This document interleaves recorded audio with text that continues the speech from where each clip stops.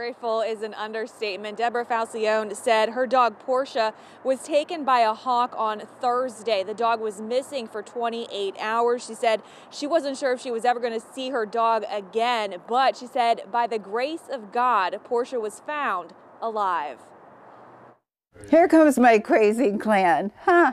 Hi, guys. These little ones are Deborah Falcione's life, but this one, 16 year old Portia, has had quite a week. But all I can do is thank God for the miracle because I don't know how else this dog could have survived.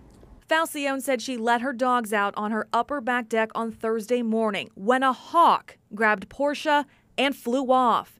She said she searched with a group of friends in the freezing cold throughout the night, but Portia was nowhere to be found. I was crying my eyes out. She is my life. My dogs are my life. But that all changed on Friday afternoon when she got a call from Banfield Pet Hospital, and they had a Portia. I said, That's impossible. She could not have survived 28 hours out in the bitter cold weather in 10 degree weather. This is a six and a half pound dog. She's blind. She's deaf. She's 16 years old. I went down there, and sure enough, this is the dog. Portia had been found by a neighbor dropped by the hawk nearly four blocks away from her home. Falcione said Portia may be the tiniest dog, but she has the strongest will to survive. How she got away, I have no idea.